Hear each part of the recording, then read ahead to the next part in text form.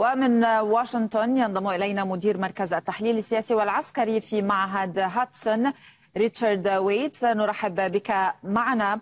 مع استمرار تكرار هذه الهجمات الحوثية ما مدى نجاعة وجدوى الحلف الذي تقوده واشنطن في البحر الأحمر ضد الحوثيين؟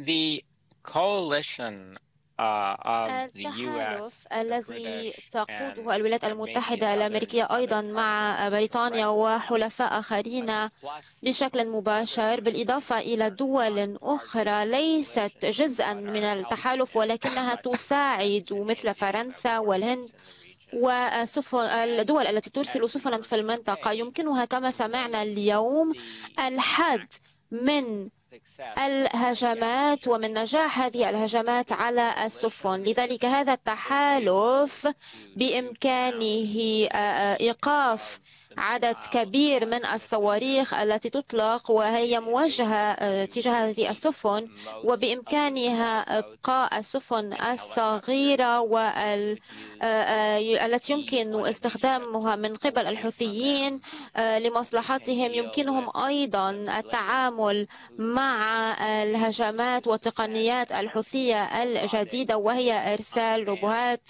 من دون إنسان وتفجير قرب السفن. لذلك حتى الآن لم تغرق أي سفينة. لذلك هذا التحالف يعمل بشكل فعال ولكنه ليس مثاليا. هناك سفن تتعرض للهجمات حتى الآن وللضرر وأهم من ذلك هناك خطر موجود وهو كاف وهناك عدد كبير من شركات الشحن لا تستخدم هذه الطريق حتى الآن وتغير مسارها من